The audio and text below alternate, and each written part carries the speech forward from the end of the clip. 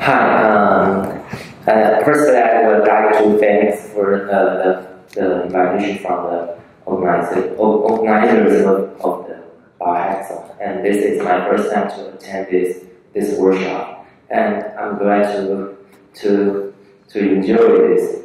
And my name is uh, Chih-Hsuan Wei from NCBI. Today, I would like to present our current project, which is named PubTator, uh, for assistant uh, literature curation and some beyond text mining research.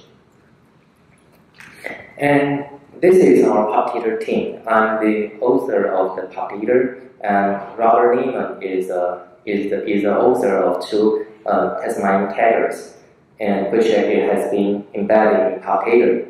And uh, Dr. Is our PI. As we know, Pub, uh, PubMed is the biggest uh, literature, uh, biomedical literature repository in the world. And to, therefore, to extract information from such a huge uh, repository is very important. So uh, to, to, uh, to recognize the user need from, uh, from the user from the user results is very important. And in this figure, we can see uh, without the alternate, uh, chemical, gene, and disease are the most important and popular terms in uh, PubMed queries. So we, we define several key concepts, including the three uh, key concepts I just said in the user uh, query log results.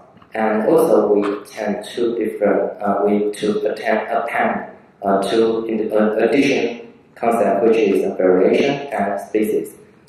And once we define five key concepts, the next thing we would like to do is to recognize those information from the literature, from the abstract.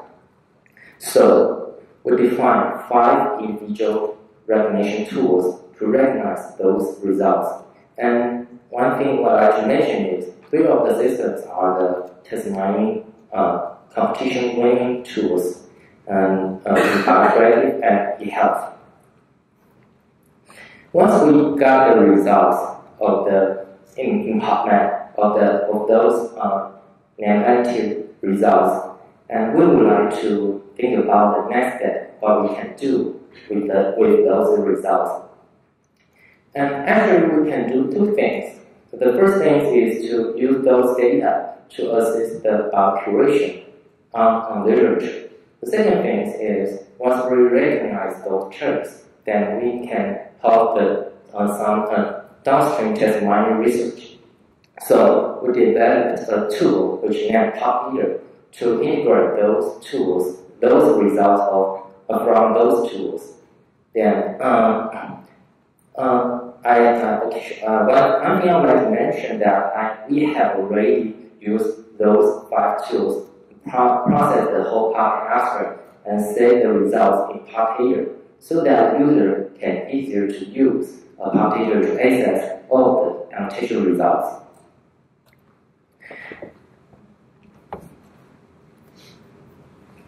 Okay, and this slide would like to show uh, the PubTator search page. Uh, in this page, uh, we, we provide a standard search function and also provide an entity-specific semantic search, which is different from the PubMed search. Because PubMed search, we know that use MaxTrain for the semantic search, but here we don't do that. What we do here is, uh, for this example, uh, the input is a ER2, which is a, a breast cancer gene. And in the first article, there is no ER2. But one synonym HER2 is in this abstract. In, in PubMed, in uh, this article will not be recognized, um, will not be extracted from, from the PubMed results. But here, we can recognize that because we return all the articles with at least one synonym of that input. And this is the PubTator curation function which provide users to curate articles like the document triage to curate is the document uh, suitable for the curation or not. And also we allow user to use the, the, the, the table to curate the uh, concepts and also allow them to annotate the uh, relation. And all the relation and concept user can define by itself. and here, what I to show is two uh, are two examples of, uh, which uh, are uh, very success uh, usage in, in huge navigator and whistleblower. Both two, uh, both two institutes are using our tools our, uh, for, for the gene and protein results recognition. And here what I to mention is, in addition to help the biocuration, PubTator is also can do something for the text mining research like the relation interaction, like the gene disease association, of a chemical induced a disease. Um, so how to do that?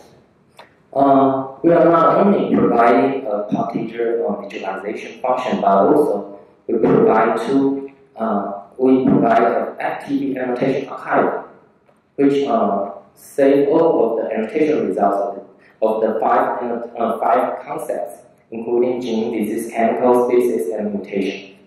And also we provide user a RESTful API, which is updated per day and user can download the results and uh, uh, by, by a simple simple URL. And here is a figure where I to show you more deep, more specific how the uh, the, the RESTful API works. Uh, we provide user two options. The first option is uh, user can input any kind of test, uh, test input like pattern, uh, medical records or, or extra or full text. Then we can use the RESTful API protocol to help to to to uh, obtain the results. Then use our tools to recognize the results and return immediately. Otherwise, we can allow user to input a PMID, then return the results. So uh, here is an example uh, how we can use simple um, instruction to to get the results. And here uh, here is uh, the, the blue part is the text, uh, which is a is a JSON format uh, followed by a pub annotation. And the red part is the tool we would like to use for the recognition. Once we submit this request, we can get a session number. Then we can use that session number to check the progress. Once the progress is finished, then you will get the results as below. So uh, actually, our our RESTful API just announced uh, at the earlier April, but until now we have millions usage so that uh, from whole, uh, the whole world. So uh, we hope we can help the, the text mining uh, research and, and development. And thanks very much.